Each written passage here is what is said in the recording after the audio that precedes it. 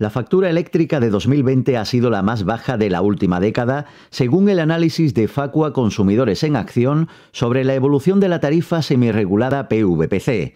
Los recibos de todo el año han representado 764 euros para el usuario medio, que según las estimaciones de Facua consume 366 kilovatios hora mensuales y tiene una potencia contratada de 4,4 kilovatios.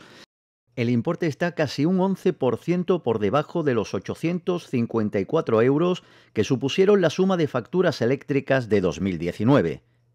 Los tres años con la luz más cara en la última década fueron 2012, 2018 y 2013, en los que las facturas del usuario medio ascendieron a 958, 926 y 923 euros respectivamente.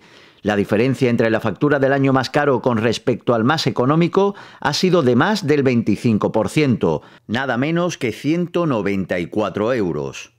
Tras 2020, el segundo año con la luz más económica ha sido 2016, cuando la factura del usuario medio representó 818 euros. El tercero fue 2019, con los mencionados 854 euros.